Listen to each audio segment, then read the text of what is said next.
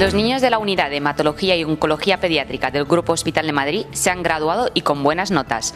Todo un orgullo para el Hospital Universitario Madrid Montepríncipe, que ha visto con satisfacción los resultados de su aula hospitalaria, la primera iniciativa de este tipo en la sanidad privada madrileña. Gracias a este proyecto y al personal del Grupo Hospital Madrid, a la colaboración de cuatro profesores, al empeño de los padres y sobre todo a la capacidad de superación de los niños, el curso escolar ha finalizado con éxito.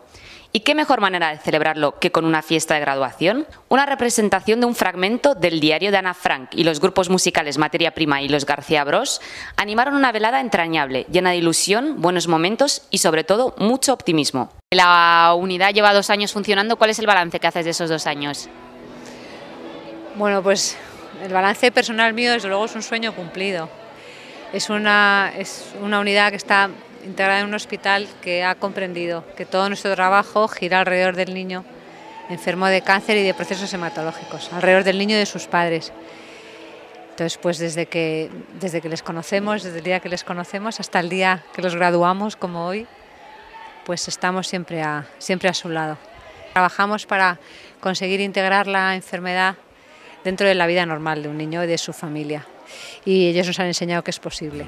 La labor que se realiza desde la aula hospitalaria del Grupo Hospital Madrid es la de evaluación, intervención y seguimiento de todos aquellos alumnos que lo requieren y constituye un paso más en la adaptación del hospital al menor enfermo. Que tiene de particular el que, el que hacen un trabajo muy personalizado, trabajan con el niño en el hospital, trabajan en casa, el mismo profesor y también sirve de coordinador con el colegio y entonces pues se hace adaptación curricular y, bueno, y conseguimos que los, que los niños no pierdan curso, porque siempre me pareció muy, muy duro y, en parte injusto el que además de estar enfermo, pues no, no, pudieras aprobar, no pudieras sacar tu curso y perdieras a tus amigos en el camino. Yo creo que para un niño lo más importante es mantener su, su grupo de amigos y conseguir terminar el colegio pues cuando debería haberlo terminado si no hubiera estado enfermo. Y eso es, lo que, eso es por lo que luchamos también ahora. La enfermedad, la convivencia en el hospital, los buenos y malos momentos compartidos han conseguido que tanto los niños como sus familiares se conviertan en un gran grupo de amigos. Se hacen, se hacen amigos,